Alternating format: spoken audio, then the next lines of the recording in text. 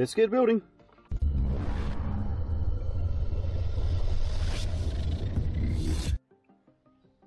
Okay, first things first, put the bottom of the frame together.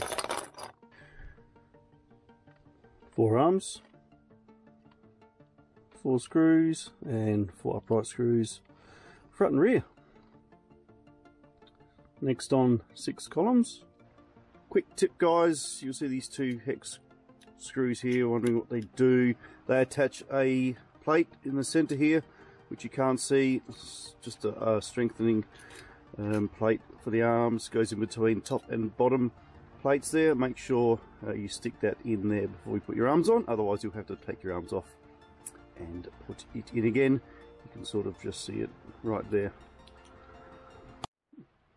The great thing I like about building is, look, it is a bit of trial and error. Uh, included in the sector parts is a tiny little yeah um, rubber spacer so what I've done is I've used these standoff mounts put it through the bottom there use that spacer because the hole for my 30 by 30 is quite large uh, and there's a bit of movement in that upright. Not sure if that's how it's meant to be however um, that does steady it. And when you go to put on your MEPS ESC and it seems to all fit together quite nicely and should offer a bit of flexibility as well so let's put all four on and make sure it's all going to be good before we go any further so as you can see, like I just mentioned, this part's a bit fiddly. So I've got the rubber spacer just in there. So it's a matter of just putting your nail next to your hex screw and screwing it up and through. If you don't have a fingernail, now's the time just to grow one a little bit. Very handy. And screw it up through there. Otherwise, uh, the rubber space is going to pop up with your hex screw.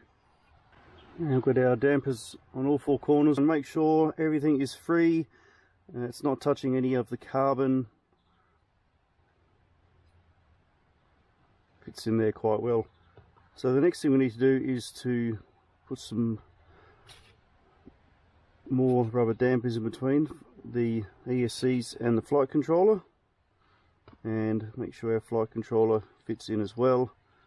Make sure there's plenty of space there which there is. I'm not too concerned about the top because my walk avatar is going to go at the back here so that's fine. All I need to do is put a couple more dampers on top there and bolt it down and it's going to be nice and firm and there's going to be plenty of room there so it's going to have a it's going to be able to breathe fairly well make sure your flight controller is actually facing the right way forward facing of the quad which it wasn't just then, but you'll see a small arrow on there, which means you want to go that way. Quite happy with that. I think uh, we shall start putting some motors on now. What I'll do now is tin up my ESCs and my power supply, solder on the capacitor at the same time, and on to the next step. Okay, ESC motor pads all fluxed up. Let's get get our power supply on.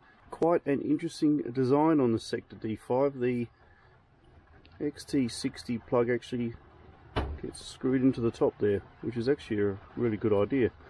So yeah, make sure you don't use the one that comes with your flight controller, uh, as it's a different end.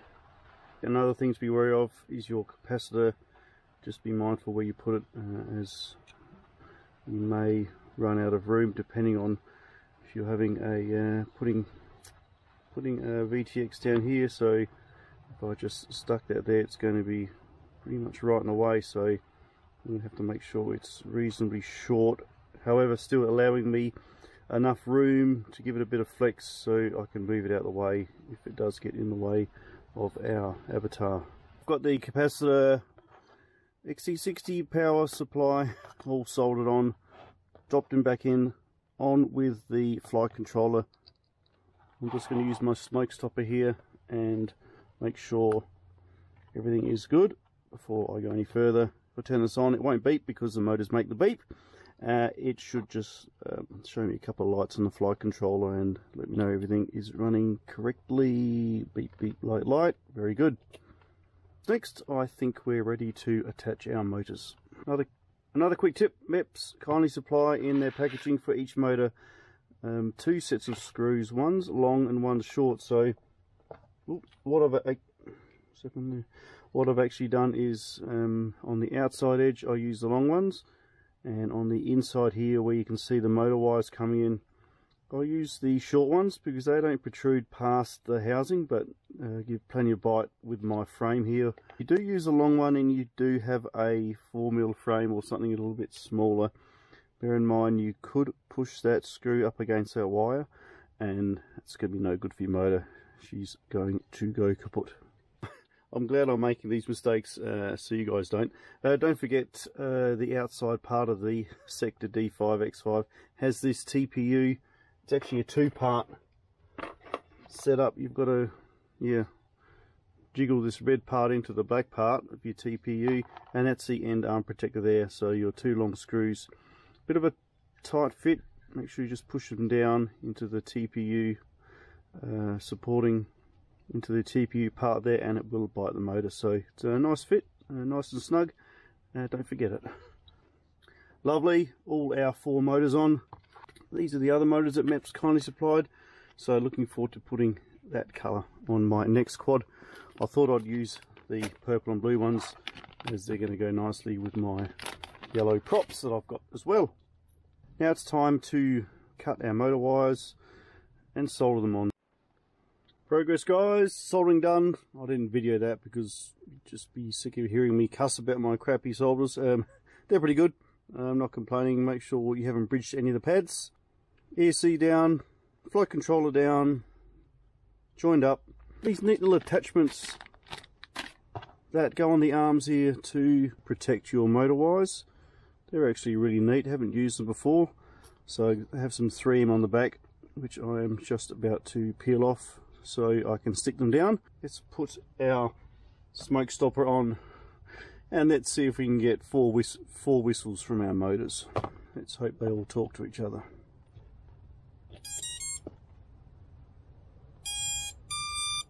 Lovely.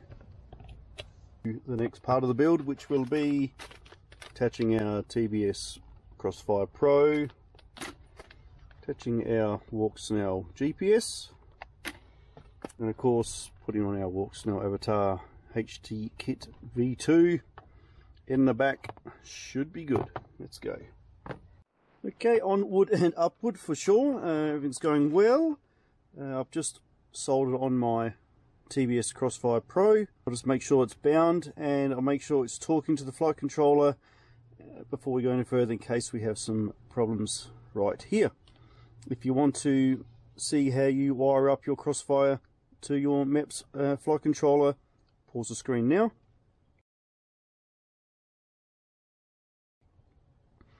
Welcome back and if you want to see how you wire up your GPS, pause the screen now.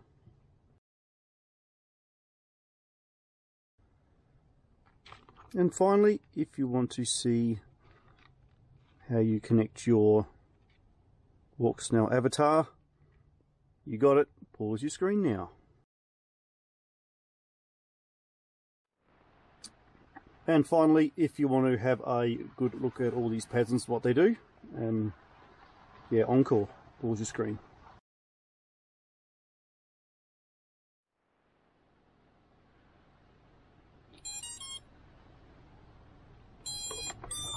Okay, TX bound, we better shoot over to Betaflight now and configure these motors and our TX and make sure everything's talking to each other. Of course you don't want to connect your props up completely, otherwise you can have some problems. So Betaflight, I'm sure you guys know how to do that already. What I what I tend to do is just drop a prop on, make sure we have it aligned properly. So number two, Betaflight, we're going to power up number two, which requires some power. Power up number two, and because it's not bolted on, it should just spin simply uh, so we can see that it's spinning hopefully anti-clockwise. Lovely. One's good. Let's check this one here. Watch out for that USB cable. That's motor number four. This should be spinning clockwise.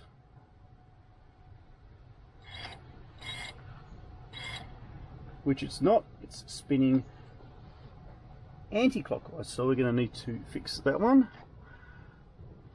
Let's have a look at number three. Which way is that spinning?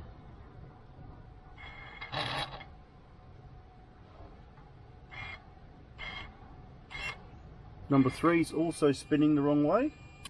Last but not least, which way is number one spinning?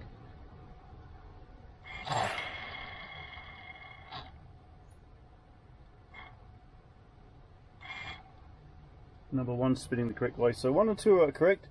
Uh, three and four need to be reversed. In case you guys don't know how to do that, you simply go into Betaflight the motors there and you'll see a motor direction tab. Click on the motor direction, click on I understand, click on individually. So I'm going to select motor number four to be reversed and select motor number three to be reversed. Now motor 3 is spinning anti-clockwise as it should and motor 4 is now spinning clockwise as it should. Simple as that guys. Let's hook up our GPS. Okay, that's our Walksnail GPS fitted. Hopefully you froze the screen prior. I've got all six wires connected. Let's jump into Betaflight, make sure it's talking. We need to make sure we have selected GPS, so go into your configurations tab. On the left there you'll see GPS. You want to select GPS, make sure it's on. I've got uh, NMEA, auto bound and auto config. Save and reboot. Make sure that you have selected it in ports T3 and R3 so I need to go to UART number 3 select UART3 on the right hand side you'll see sensor input. So UART3 needs to say GPS save and reboot. Excellent. Really happy with that. Everything's hooked up and talking to each other really well. No problems at all. Now what I'm going to do is sort out my wiring. Heat shrink around my receiver here now I know that it's good sort out where the GPS is going. We need to then install our CADDX FPV Walksnail avatar and we are nearly finished. Okay I'm running hot here. Let's see what's going to happen. I haven't actually plugged this in at all. I've got everything hanging out everywhere. I've got my Walksnail avatar just hooked it up. I've actually hardwired the module in uh, as I'm utilizing the uh, nice MEPS plug here. So just the four connectors, um, 10 volt uh, ground RXTX switched on. Now we just need to bind them, turn it on.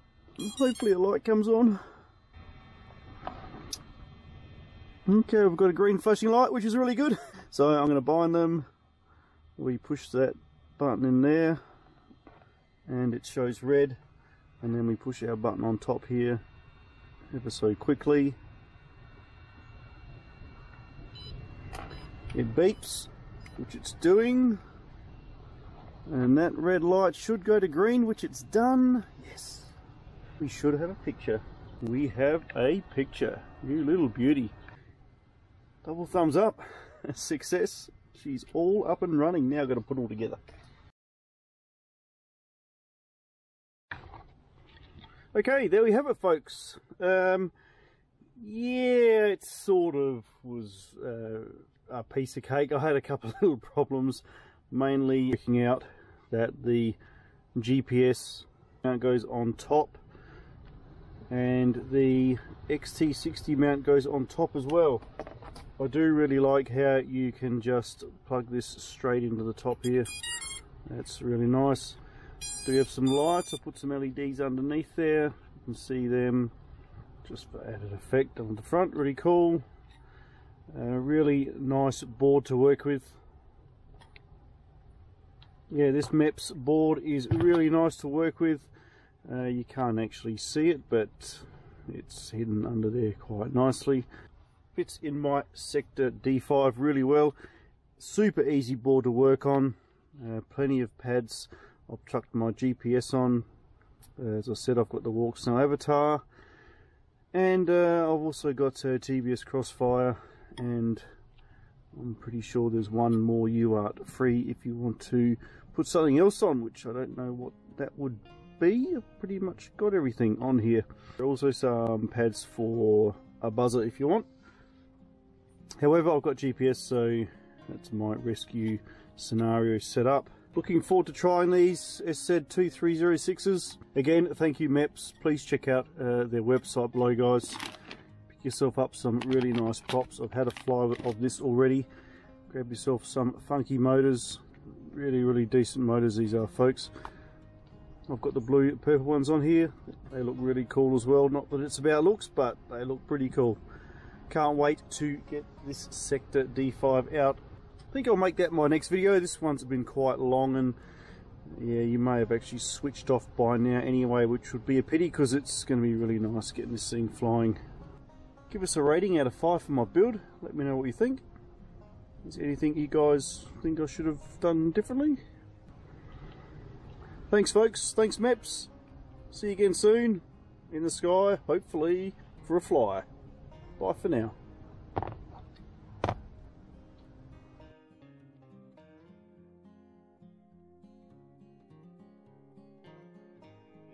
Controller and MEPS ESCs. I'll have links down below for all of those. I have just done a complete build of this. Uh, I haven't put this video on the end of that build, otherwise it would be way too long and you probably wouldn't hang around to watch it. So I've done a separate video, so please have a look down below if you haven't seen that complete build of this Sector D5 with all this cool MEPS running gear.